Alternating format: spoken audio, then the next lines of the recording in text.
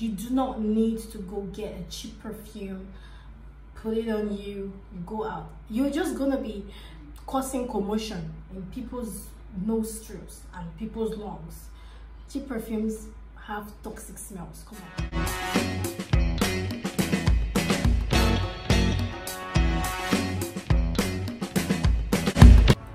Hey friends welcome to my channel.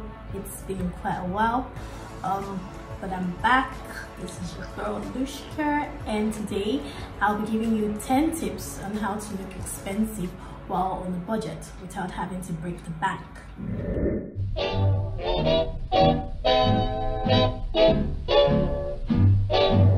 So I know that a lot of people would like to look expensive, rock the expensive look, you know, but ego adeo there is no money you know. But that's not it's not a problem. Because there's so many ways you can carry yourself looking expensive looking delectable prime and proper while still on a budget. And today i will be letting you know how that can be achieved. So first of all i would give you tip number one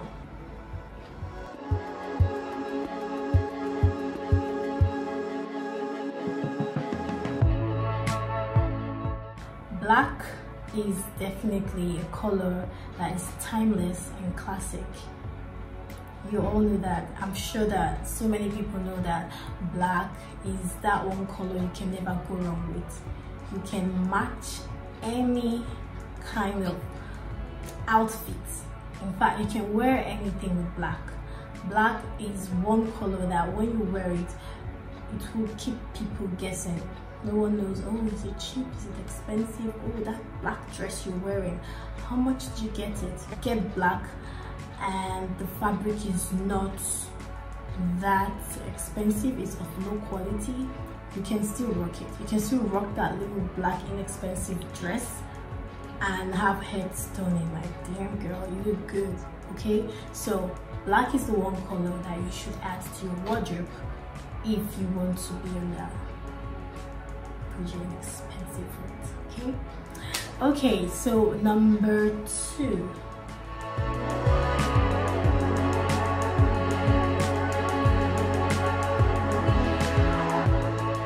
Neutral colors.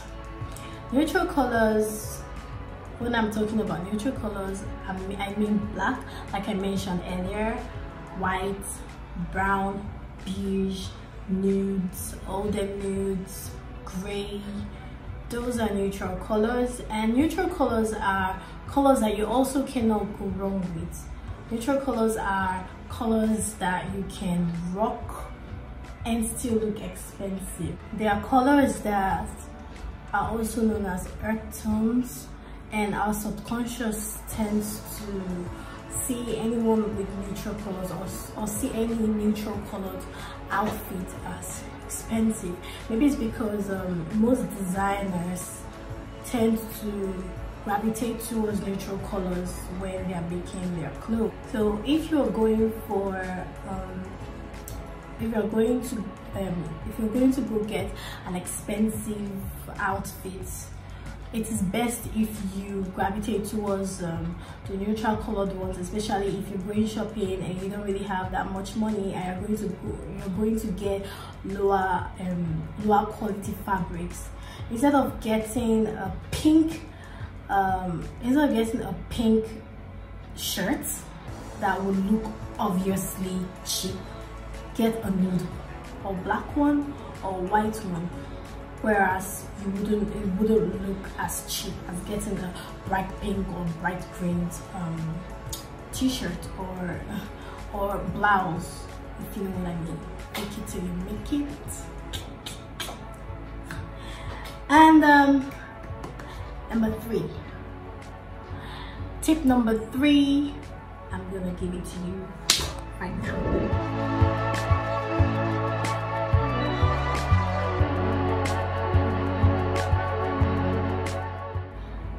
pretty sure that it is no news that once you dress up, wear your outfit and you're about to slay and then you add a pair of sunglasses it automatically changes your entire look girl. Even if you're not wearing makeup.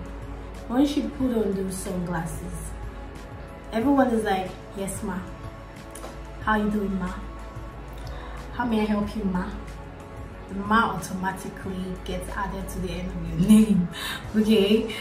Sunglasses will always uplift your look. It will always give you that classy expensive look. It doesn't really like it it is man like sunglasses is life changing so the one thing that you should add to your accessories or your wardrobe if you want to look expensive is a pair of sunglasses my dear even if you have to invest in one good sunglass do that.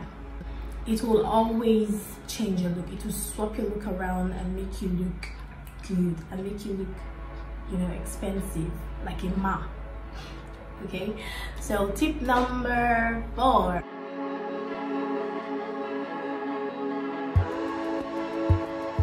Still on the neutrals because the neutrals are always the neutrals are always um, the way to go if you're on a budget. Neutrals man neutrals.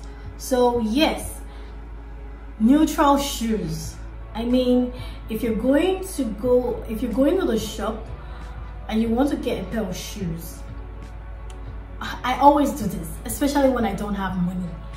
I will go to the shop and i'll look for the black or the white or I, I don't even really go for white shoes that much. I'll always go for black or nude colored shoes or brown colored shoes because those are shoes that you could wear three four times to a particular occasion and nobody would even notice that you're wearing that you know three four times. And it doesn't select outfits that much it, it doesn't even select outfits you can wear a black shoe or black sandal or a black slipper and wear it with a pink shirt. And you can you can just keep going wherever you want to go okay? But whereas you wear a, a green shoe or you go buy a green shoe come on and you don't have money that shoe is something that you can wear for maybe three four occasions. Let's say let me use the office for example. You wear a green shoe to work today and you wear it tomorrow and you wear it the next day the day after obviously. It is obvious that you are repeating that shoe. You're wearing it over and over and over again. But if you wear a black shoe or brown shoe two three four times nobody's really it's not going to register in anybody's head that that's what you've been wearing for some reason because those colors are classy and timeless and they go with everything and they look less cheap. Okay? Thank you. And i'm just spitting knowledge. Let's go to tip number five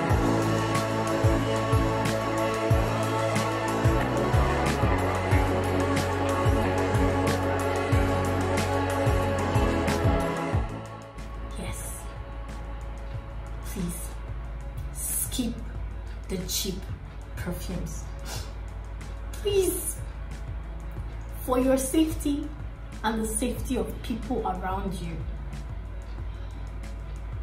I don't know how to stress this. Skip cheap perfumes. Look, girl, you're better off just slapping the roll on here, slapping the roll on here, or spraying the deodorant here, spraying the deodorant here, and go out of the house and you'll be smelling okay trust me you would smell okay. You do not need to go get a cheap perfume put it on you go out. You're just gonna be causing commotion in people's nose strips and people's lungs. Cheap perfumes have toxic smells come on. Just you're better off just going with the deodorant and the roll-on or the body mist if you don't have the money to get an expensive perfume but if you must, if you must get a perfume, then get perfume testers, get perfume oils, get perfume samples. There are magazines that you open some magazines and you would actually see um, perfume samples from all, sorry from high-end designers who are trying to advertise their products in those magazines. You would actually get samples of those um, of those perfumes or you could actually there are actually people who sell perfume oils and perfume testers okay?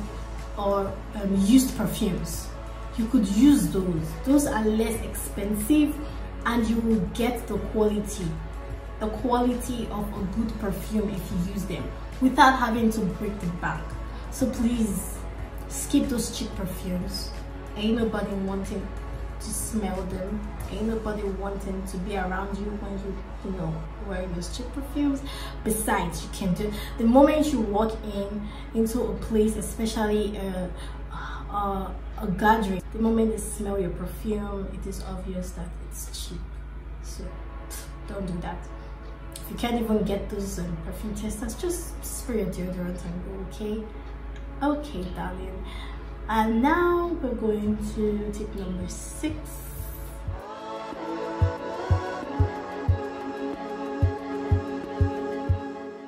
yes i say this all the time timeless wardrobe pieces this is one thing that i know that i do a lot if you're going to shop for your clothes and you have the need to buy what's in season, knowing fully well that your pocket can't keep up. Don't. I'm not saying that you shouldn't buy um, what's in season, but that's something that you can do sparingly. Do not always go shopping and go for what's in season because by the time the season is over, then you have to buy, you, you'll have a need to buy the next um, outfit in season. No, go for timeless pieces. Go for pieces that you know that are always in season, always in time, always in the period. Do you understand? Go for something that you know that if you wear it, you can twerk it here, twerk it there, and look like a fashion goddess. Do not go for something that's happening right now, that's trending right now, knowing fully well that if you buy it, um, you won't be able to keep up the next time. No, just go for something timeless, something that you can wear and wear and wear and also twerk. Okay, that is going to cut you cost. And that would always make you look classy. Okay, classy and expensive. So now, yeah, tip number seven. Don't slouch. Yes stand straight chin up shoulders high tummy tucked in don't slouch people. Don't slouch. Just if you're standing stand up straight. If you're sitting sit up straight. Don't slouch. Not only is it unappealing to look at it is unappealing to see someone slouch slouch. It is also not good for your spine and your posture. I'm sure so many people know this, okay? Don't slouch. Always carry yourself with pride. Carry yourself with dignity. Always put your neck straight and your back straight. And is it I, I don't remember the word. But yeah, I know what I'm talking about. Okay? Okay. Tip number eight.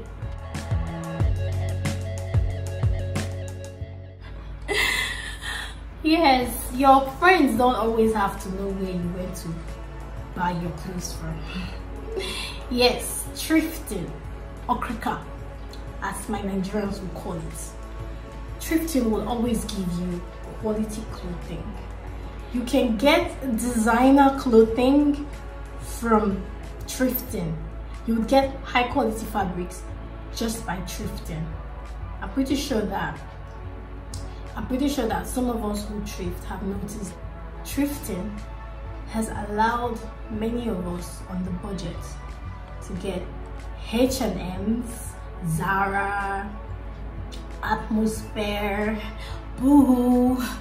You can thrift and find them. And then when you're thrifting, make sure you're looking for fabrics that you know can last fabrics that are not low quality uh, I'm sure you know what I mean so while thrifting thrift for these brands that you know might have high quality fabrics.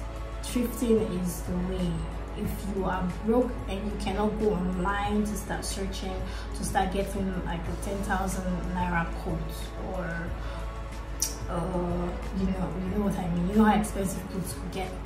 But yeah thrifting. Thrift get second-hand clothes get high quality second-hand clothes of the first grade and add them to your wardrobe come out looking expensive and chic. Fake it till you make it. Okay so number nine.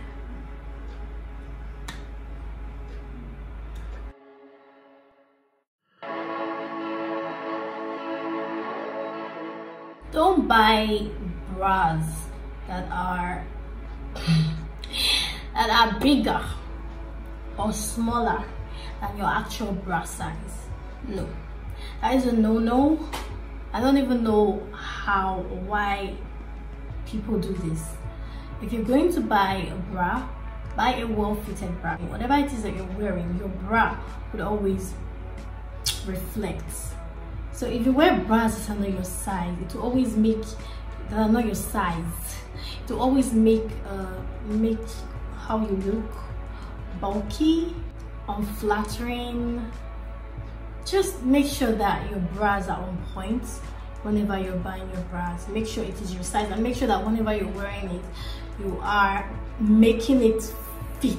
What i mean making it fit because um it could you know the um, the strap of the bra make sure it's also well fitted on you so that it could carry your boobs high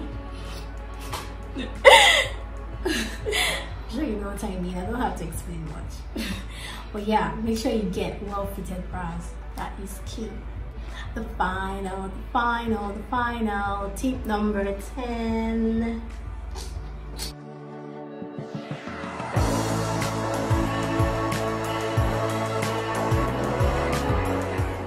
Your hair, your nails, have your nails and your hair neat all the time.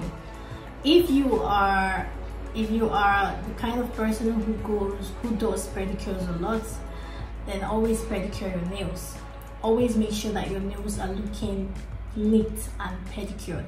If you um if you do not have money to get pedicures often and whenever you're not getting a pedicure make sure that your nails are clean even if you're not cutting your nails make sure that they're clean and well filed.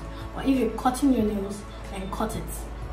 Just make sure that your nails look clean at all times. It doesn't have to always be pedicured but it should always be neat and clean. And as for your hair always make sure your hair is on point all the time.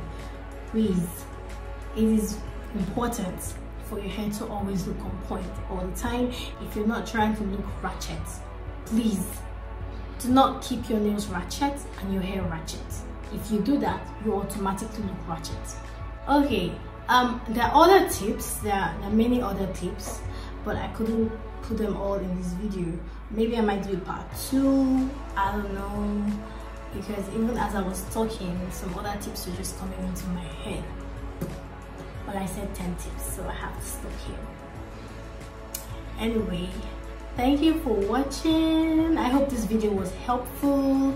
And if you have anything to say if you have any suggestions if you do follow some of these rules normally please make sure to write it down in the comment section below. And if you like this video please give it a thumbs up. And if you haven't yet subscribed to my channel please subscribe to my channel. That will be doing your girl a lot of good thank you so much for watching i'll see you in my next video bye.